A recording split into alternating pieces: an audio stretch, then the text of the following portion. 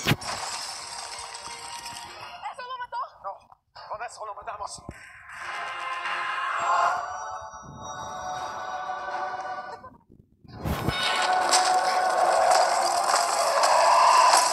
let it take your power.